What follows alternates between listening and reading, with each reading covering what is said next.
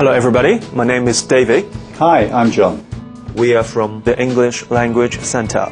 The ELC. That's right. Mm-hmm. And in this semester, we'll be sending you some video clips and they'll be helping you to improve your English. I'm sure that you'll find them valuable support for your English language learning. That's right, yeah.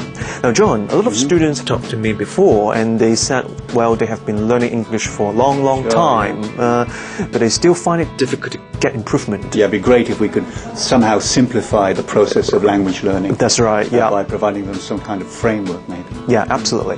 Um, so perhaps I would say we can introduce three keywords. Okay. All right. So number one, input. Input means, quite simply, reading more and listening more. Right. And you can take a look at here. All right. Uh, this is the A305 area, and we have quite a lot of materials available for you to use. And say, for example, academic English, um, career English. All right, and something about vocabulary as well. Impressive, yeah. And there's a lot of uh, audio material as well. We have DVDs here. We have audio tapes, of course, Right. and CDs. Right. A lot of material, a lot of input here. Right. And the second keyword, very naturally, would be output. And output means try to write more and also speak, Speak more. more. Right, yeah. And for example, you can write your essay and show your work to us, or you can simply Sure. step into this area and talk to the teachers here. And Sure. And bring your friends and talk to them in English, of course. Right. Use this opportunity, use this facility. right, that's right.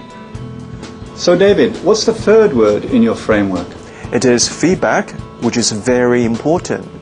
Basically, for example, you can uh, write some essays and then you can bring your work to the help desk here and ask the teachers for comments. Hey, I'm on duty now. Yeah. So, how can I help you? What feedback can I provide for you today? So very much like this, you can talk to the teacher on duty. And so we suggest that if we want to improve our English, we always need to remember the three key words. Number one, Input. input. Number two, output. And most important of all, feedback as well. And all of which you can get here in A 305. So, See you in 305.